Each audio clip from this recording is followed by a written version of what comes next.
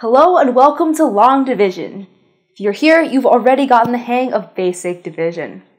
Long division involves dividing bigger numbers, but the process is pretty much the same. Do you remember learning that division problems can be written two different ways? The first way uses this division symbol, but the second uses the long division symbol. This is a short vertical line and a long horizontal line.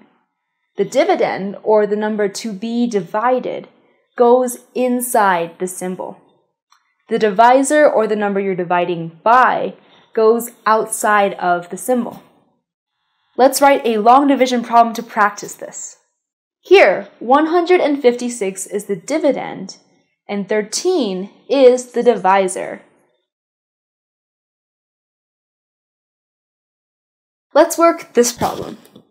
We don't have to figure out how many times 13 goes into 156 or how many groups of 13 there are in 156 in just one step.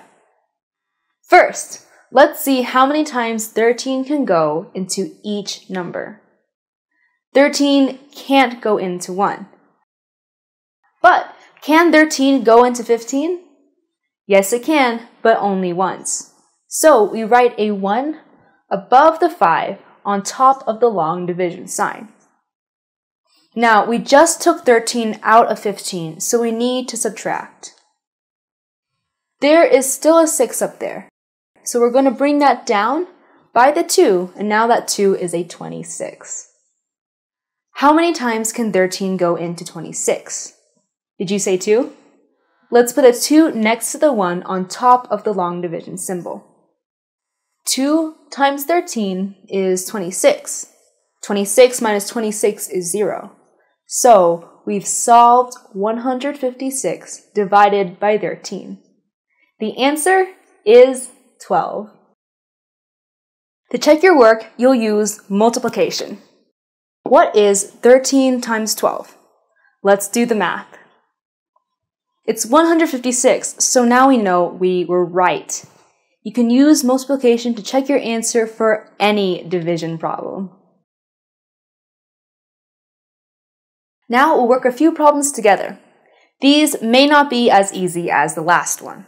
So first, let's try 1,440 divided by 12. Remember, we're breaking this down. So, how many times does 12 go into 14? Or how many groups of 12 are there in 14? Well, 1. Now let's subtract 12 from 14 and bring down the 4. We have 24. 12 can go into 24 twice. Now we have to bring that down to 0, and 12 can't go into 0 at all, so let's write 0. Our answer is 120. Let's try another. We're going to divide 362 by 4.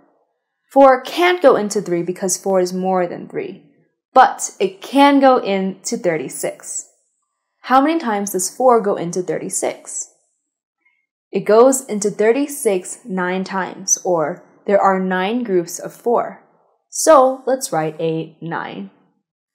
That worked out well, but now we have a problem. We just brought down a 2 and a 4 can't go into a 2 at all. So we have to write a 0 over the 2 above the long division symbol. And now we have a remainder of 2 left over. So we write the answer as 90R2. Let's try just one more problem. Let's divide 924 by 16. 16 can't go into 9 at all. However, it can go into 92. Do you remember your multiplication tables?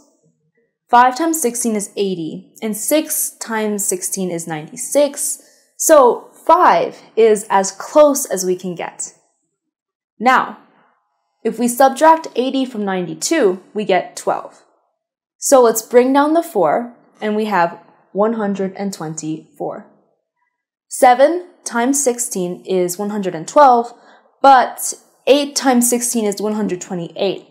So we'll write a 7 over the 4 in 924. 124 minus 112 is 12, so that is our remainder. The answer is 57R12. To sum it up in a few simple tips 1. Work from left to right. It doesn't matter how big the dividend is, you're still working with it in small chunks. 2. Remember to bring down the next number. And don't forget that 0 is also a number. 3. Use multiplication to check your work.